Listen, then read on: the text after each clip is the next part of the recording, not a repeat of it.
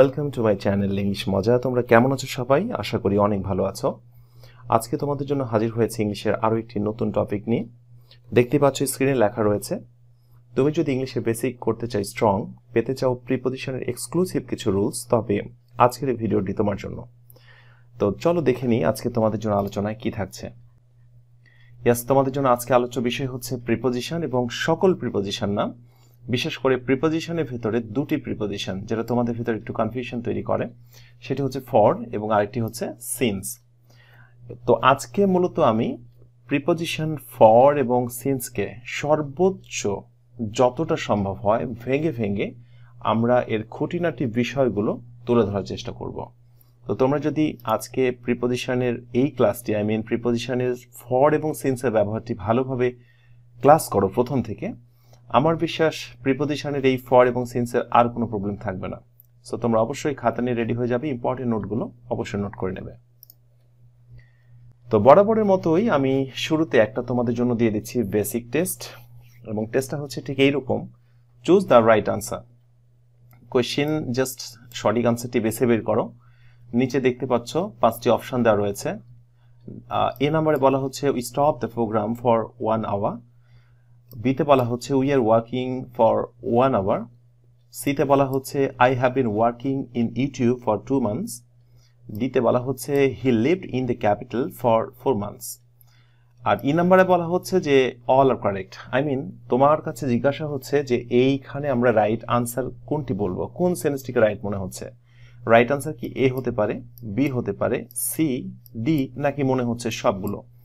তো তোমরা একটু ধারণা করো, সঠিক আনসার আমি এই মুহূর্তে বলছি না। একটা পর্যায়ে যে তুমি নিজেই বুঝতে পারবে সঠিক আনসার কোনটা। তো চলো আর একটু সামনে এগোই।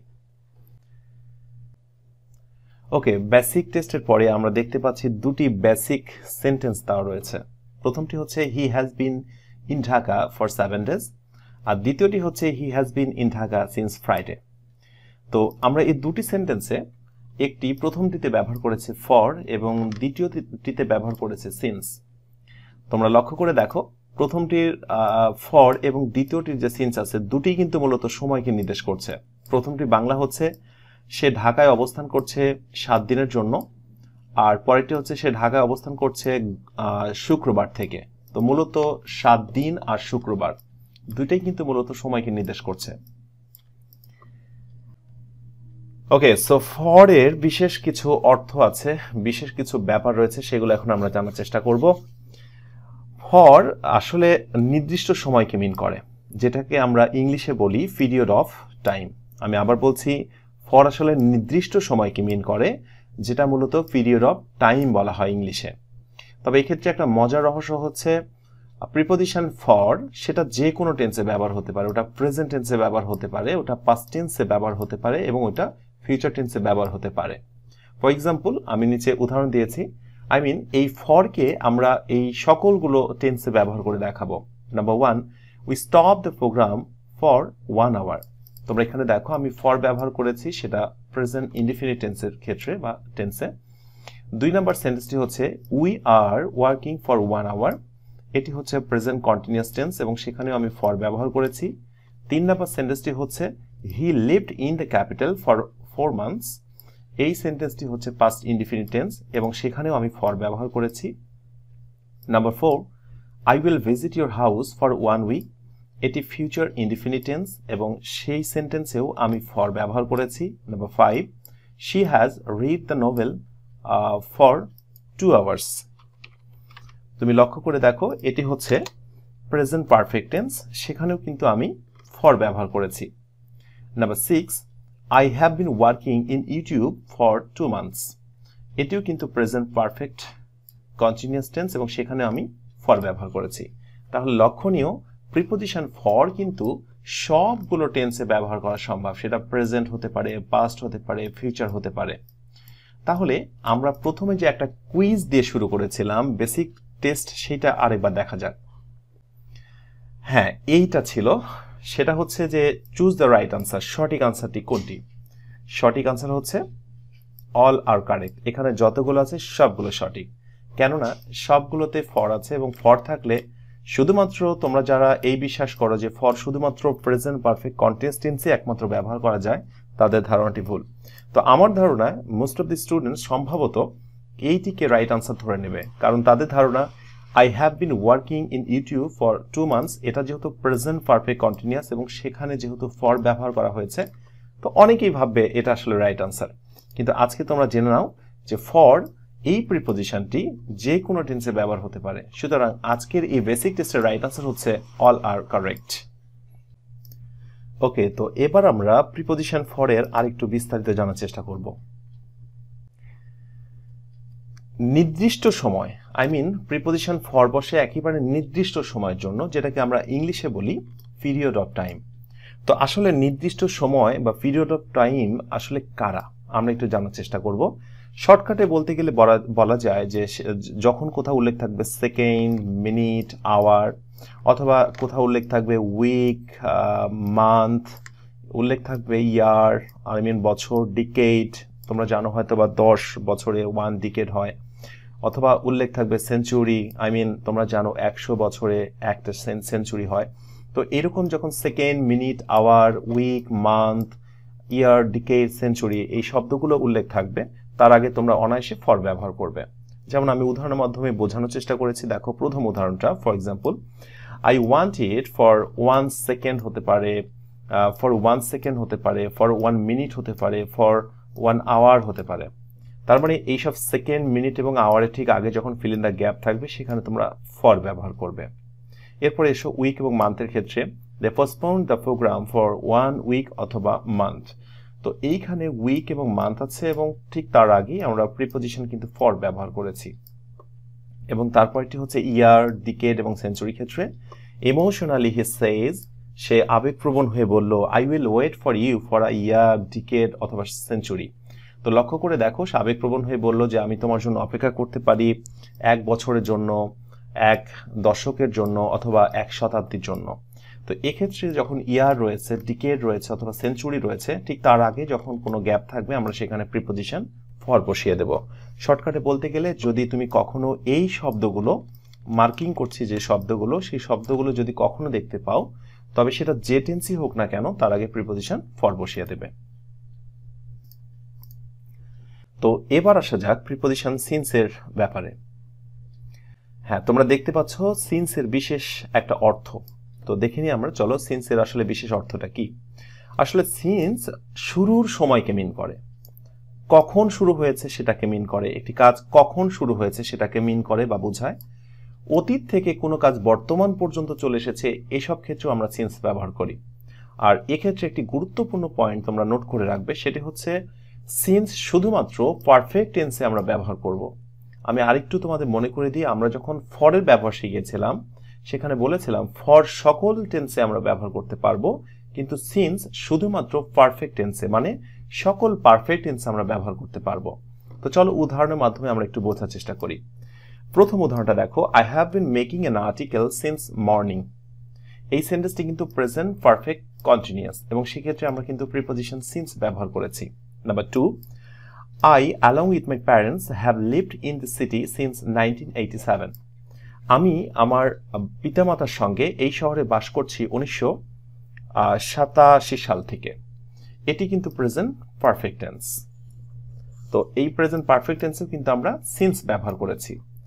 Rani had been writing a book since two Rani দুই হাজার পনেরো সাল থেকে একটি বই লিখছে, লিখেছিল।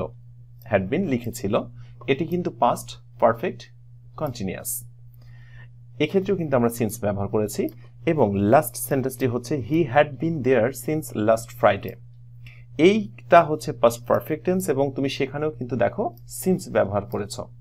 তার মানে এখান থেকে প্রমাণিত যে আমরা সিন্স ব্যবহার করব সকল পারফেক্ট টেন্সে তো লক্ষ্য করে দেখো, এই সবগুলোই কিন্তু পারফেক্ট টেন্স আশা করি মোটামুটি সিন্স এবং ফরের প্রাথমিক তোমরা ব্যবহারটা বুঝতে পেরেছ।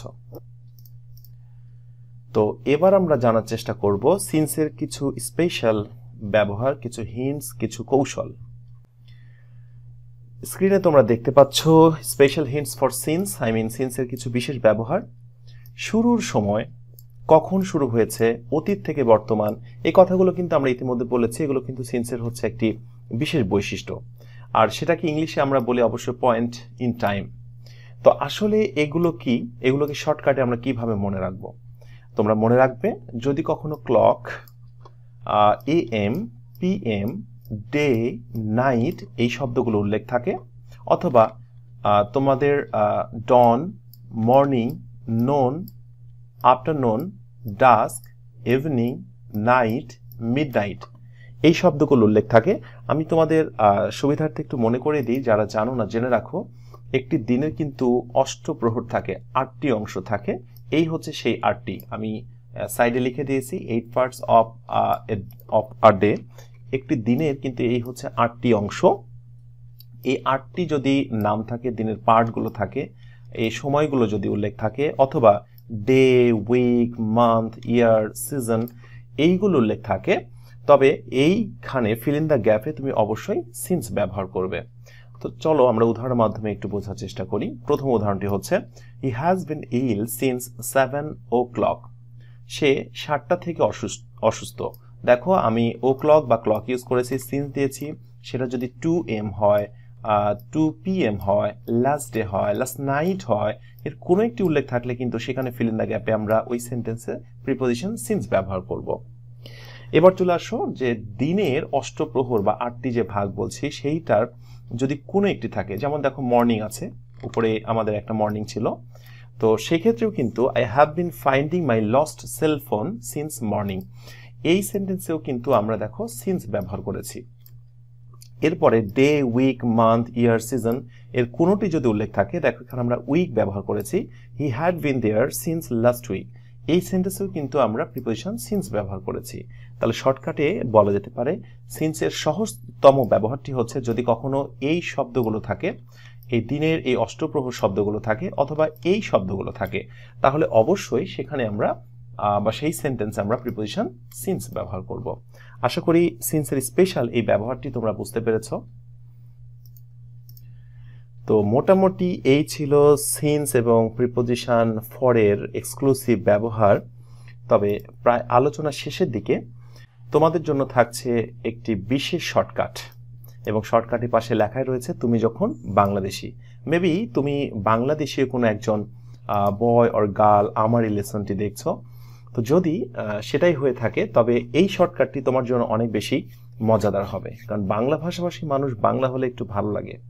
ব্যাপারটা একটু সহজ করতে গেলে বলা যায়, ফর অর্থ হবে ধরে বা যাবত যদি কোনো সেন্টেন্সে বাংলা অর্থ করতে যে আমরা ধরে বা যাবত কথাটি উল্লেখ করি, তাহলে সেই সেন্টেন্সে আমরা প্রিপারেশন ব্যবহার করব ফর আমি আরেকবার ক্লিয়ার করছি, যদি বাংলা অর্থ করতে যে কোনো সেন্টেন্সের অর্থ হয় ধরে বা যাবত তাহলে সেই সেন্টেন্সে আমরা প্রিপোজিশন ব্যবহার করব ফর আচ্ছা এবার আসি সিন্সের ব্যাপারে। সিন্সের অর্থ হচ্ছে হতে বা থেকে। তো যদি কোনো সেন্টেন্সে আমরা বাংলা অর্থ করতে যে অর্থটা হয়, হতে বা থেকে, তাহলে সেখানে আমরা প্রিপোজিশন সিন্স ব্যবহার করব। উদাহরণ হিসেবে আমরা বলতে পারি I have been living here আমি এখানে বাস করছি ড্যাশ নাইনটিন নাইনটি ওয়ান উনিশশো একানব্বই কি? উনিশশো একানব্বই সাল ধরে নাকি থেকে? আমরা অবশ্যই বলব উনিশশো একানব্বই সাল থেকে। তাহলে তুমি দেখো, থেকে যদি বাংলা অর্থ করে থাকি তাহলে সেখানে কিন্তু আমাদের ফিল ইন দ্য গ্যাপে প্রিপোজিশন কি বসবে? সিন্স বসবে। এই জন্য রাইট উত্তর হয়েছে এখানে সিন্স আচ্ছা পরেরটা চলে এসো। I have been working I have been working dash two hours আমি দুই ঘণ্টা ড্যাশ কাজ করছি। তাহলে দুই ঘণ্টা কি হতে কাজ করছি, নাকি দুই ঘণ্টা ধরে কাজ করছি? তো আমরা অবশ্যই সম্ভবত বলব দুই ঘণ্টা ধরে কাজ করছি। আর তোমরা তো জানোই যে ধরে অর্থ বোঝালে সেই ফিল ইন দ্য গ্যাপে বসবে ফর এই হচ্ছে সবচাইতে বাংলাদেশীয়দের জন্য একটি শর্টকাট টেকনিক আর যদি পূর্বের বিস্তারিত আলোচনা বুঝতে পারো, তো সেটা আরও বেটার তো আলোচনা প্রায় আমরা একেবারে শেষ পর্যায়ে, এ পর্যায়ে আরেকটি তোমাদের এক্সক্লুসিভ ব্যবহার দেখাবো, যেটা সিন্সের এক্সক্লুসিভ ব্যবহার। সিন্স কিন্তু মাঝে মাঝে প্রিপোজিশন না হয়ে সেটা কিন্তু কনজাংশন হতে পারে। তো চলো আমরা একটি সেন্টেন্সের মাধ্যমে সেটা বোঝার চেষ্টা করি। It is two years since I met you last এটা প্রায় দুই বছর হয়ে গেছে যখন আমি তোমার সঙ্গে লাস্ট দেখাটি করেছিলাম।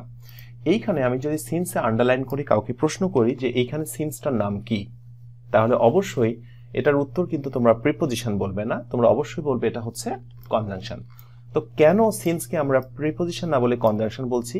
তো কনজাংশন জিনিসটা কি একটু আমরা বোঝার চেষ্টা করি। কনজাংশনের শর্টকাট টেকনিকটা হচ্ছে প্রথমে থাকবে একটি সেন্টেন্স শেষে থাকবে একটি সেন্টেন্স আর মাঝখানে যে ওয়ার্ডটি বসবে সেটি মূলত কনজাংশন হিসেবে কাজ করবে।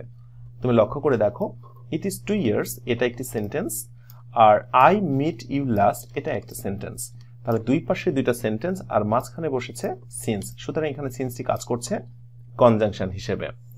আর এই কনজাংশনের ব্যাপারে আমি তোমাদের একটা মজার বিষয় বলে দিই। কনজাংশনটা কিন্তু দেখতে অনেকটা আমার কাছে একটা খাবারের মতো মনে হয়। আচ্ছা তোমরা গেস করো তো এটা কোন খাবারের কথা মনে হচ্ছে। আচ্ছা আমি বলে দিচ্ছি তোমাদের। এইটা আমার কাছে মনে হয় অনেকটা স্যান্ডউইচের মতো। এটা অনেকটা বার্গারের মতো মনে হয়। স্যান্ডউইচ বা বার্গারের মতো মনে হয়। কেন দেখো?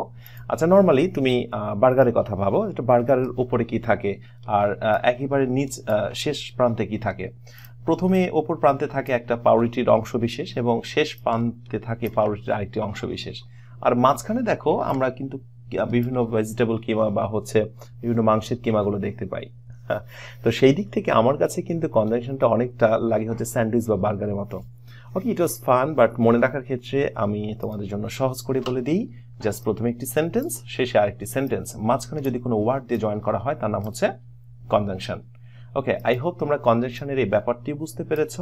তো আজকে আমার মূল আলোচনা বিষয় ছিল সিন্স এবং ফরের এক্সক্লুসিভ ব্যবহার দেখানো। তো তোমরা যদি এই আলোচনাটি উপকৃত হয়ে থাকো, তাহলে ভাববো আমার পরিশ্রমটি সার্থক হয়েছে। তো আজকে এই পর্যন্ত সবশেষে কথা একটাই, যদি আমার এই ভিডিও ক্লাসটি ভালো লেগে থাকে, তাহলে অবশ্যই লাইক, কমেন্ট এবং বন্ধুদের সঙ্গে শেয়ার করবে। আর অবশ্যই সাবস্ক্রাইব করে রাখবে। তাহলে পরবর্তীতে আমি যখনই কোনো ভিডিও আপলোড করব, তুমি তৎক্ষণাৎ সেটি পেয়ে যাবে। তো তোমরা সবাই অনেক ভালো থাকো, অন্যকে ভালো রেখো। Good bye.